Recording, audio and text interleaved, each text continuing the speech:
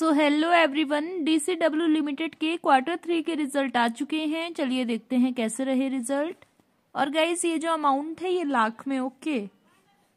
यहाँ पे बात करूँ मैं डीसीडब्ल्यू लिमिटेड की टोटल इनकम के बारे में। आप देखेंगे फिफ्टी एट थाउज़ेंड से ये डिक्रीज हो गई है फोर्टी थाउज़ेंड हो गई है ईयरली बेसिस में।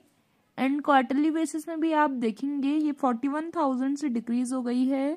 फोर्टी थाउज़ेंड हुई है इनकी टोटल इनकम आगे टोटल एक्सपेंसेस खर्चे फिफ्टी वन थाउज़ेंड से फोर्टी टू थाउज़ेंड हो गए हैं मतलब डिक्रीज हुए हैं ईयरली बेसिस में।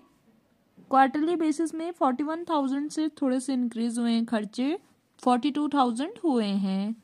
आगे बात करूँ मैं टोटल कॉम्प्रीहेंसिव इनकम की, आप देखेंगे, पिछले साल एंड पिछला क्वार्टर कंपनी प्रॉफिट में थी now twelve hundred thirty two का इनको लॉस हुआ है। सो ओवरऑल मतलब यहाँ पे इस टाइम पे रिज़ल्ट ज़्यादा अच्छे नज़र नहीं आ रहे हैं। क्योंकि क्वार्टरली बेसिस में पिछले क्वार्टर में प्रॉफिट में थी 266 के बट नाउ 1232 के लॉस में है। और ईयरली बेसिस में भी 4800 के ये प्रॉफिट में थे बट नाउ 1232 के लॉस में है।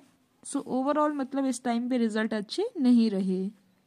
और अर्निंग पर शेयर भी आप देखेंगे 1.63 से ये नेगेटिव 0.42 हो गया है। सो so, ओवरऑल मतलब रिज़ल्ट इनके अच्छे नहीं रहे।